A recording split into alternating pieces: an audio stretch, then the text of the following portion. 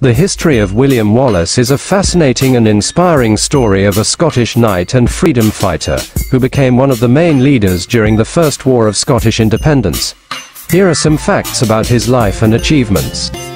William Wallace was born around 1270, probably near Paisley, Renfrew, Scotland.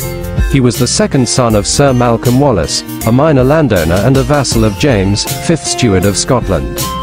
In 1296, King Edward I of England deposed and imprisoned the Scottish King John de Balliol and declared himself ruler of Scotland. Wallace joined the resistance movement against the English occupation and became a leader of the Scottish rebels. In May 1297, Wallace and a band of some 30 men burned Lanark and killed its English sheriff. He then joined forces with Andrew de Moray, another rebel leader, and attacked the English garrisons in central Scotland. On September 11, 1297, Wallace and Moray defeated an English army at the Battle of Stirling Bridge, using a clever tactic of waiting until half of the enemy had crossed the narrow bridge over the River Forth before attacking them. The victory was a major boost for the Scottish morale and made Wallace a national hero. Wallace was appointed Guardian of Scotland and served until his defeat at the Battle of Falkirk in July 1298, where he faced a larger and better equipped English army led by Edward I himself. Wallace escaped from the battlefield but resigned his guardianship shortly after.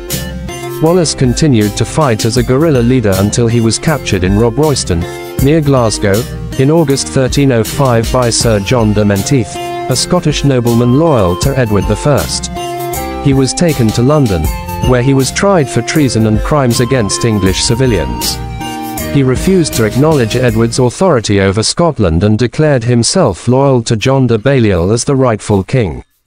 On August 23, 1305, Wallace was executed by being hanged, drawn and quartered at Smithfield. His head was displayed on London Bridge and his limbs were sent to Newcastle, Berwick, Stirling, and Perth as a warning to other rebels. Wallace's legacy lives on as one of Scotland's greatest national heroes and the chief inspiration for Scottish resistance to the English rule. He is commemorated by monuments, statues, songs, poems, books, and films.